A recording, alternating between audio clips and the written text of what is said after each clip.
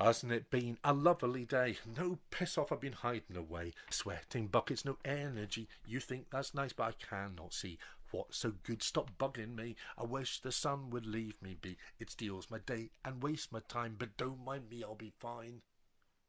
Oh, the chance to be burned by light so bright it's blinding, restricting sight, biting insects, thorns and stings and flies. They are such horrid things. Allergies and running noses, and for some reason, everyone supposes that this is nice. I think it's not, and look how overgrown my garden's got. I've been drinking water all day long, slouched on the sofa writing this song in front of the fan, telling off the sweat. Tomorrow will be as bad, I bet.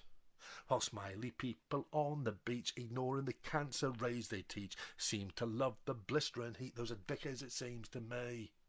So don't give me what a lovely day. I just don't see it that way.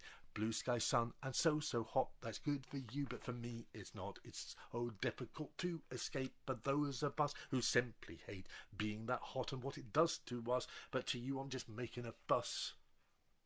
Roll on winter and wanting snow. Dark nights, that's the way to go. And then you'll whinge and wish away what to me's a perfect day. Snow to play and admire and love. We don't get those days nearly enough. Global warming, sort of that anyway. That's enough of that.